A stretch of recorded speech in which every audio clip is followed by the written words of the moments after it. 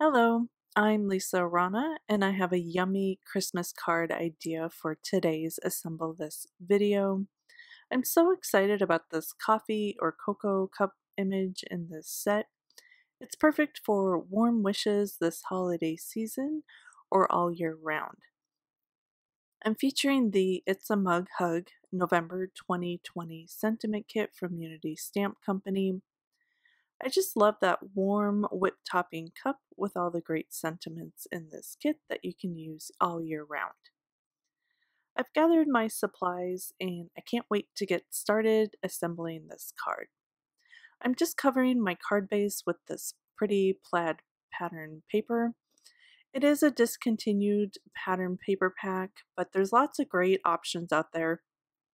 Just grab your favorite pattern papers and layer them up I'm angling this top layer and then just trimming it down to the size of my card front.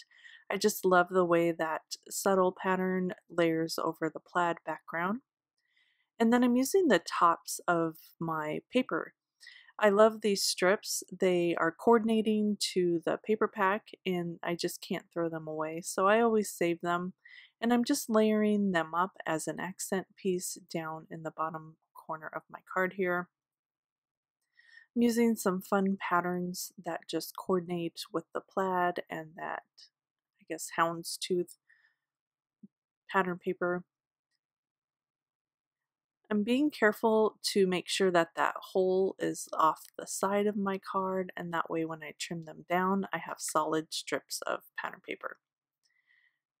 I've already stamped out my coffee cup or mug and I'm just going to tack that down into my mini MISTI. And then I have a sentiment from the Glimmering Greetings stamp set. The Holly Jolly is the only one in this kit that actually fits within the, the mug.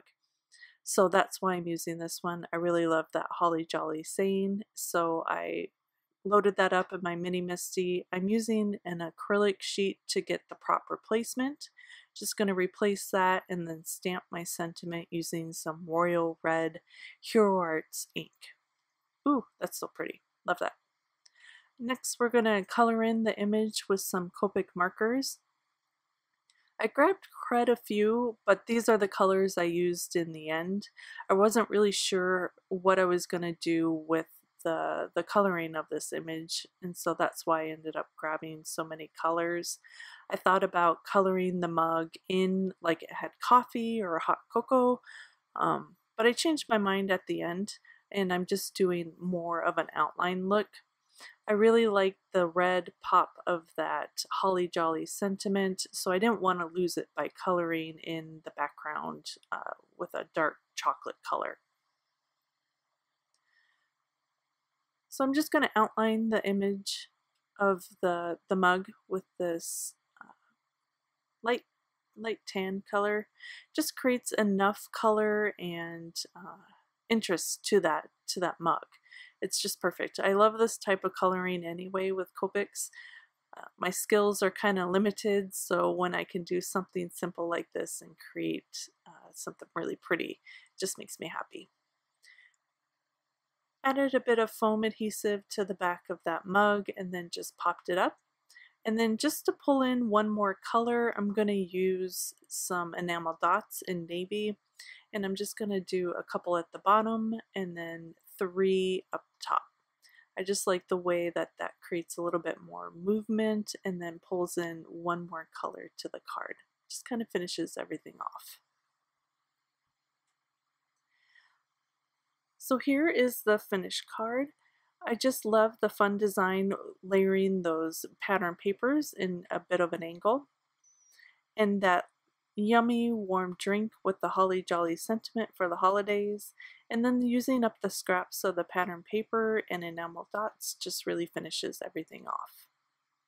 I have another look using the same layout. This time I'm using some brighter, happier colors and pattern papers to, to make more of a birthday card.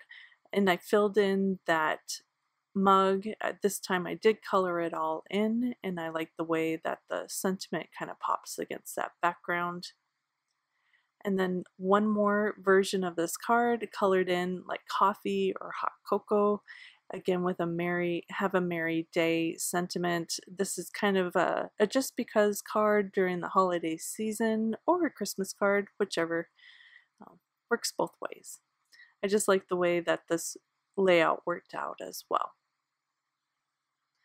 as usual, I'll have all the supplies linked in the description of this video. If you have any questions or sweet comment posts below, I love to read each and every one.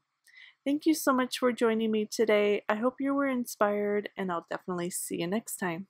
Bye!